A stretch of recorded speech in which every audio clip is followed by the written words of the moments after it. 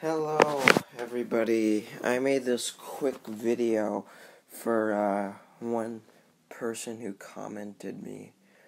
So he said he wanted proof that Onision did copyright strike me. So I'll show you it right now.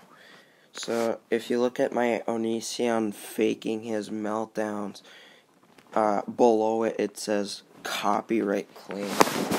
And uh, so I went on YouTube Studio, and it did say that uh, that uh, Onision, no matter what I, no matter what happens in this video, he gets everything. Because yes, I did use a clip of his freakouts. So here's my proof.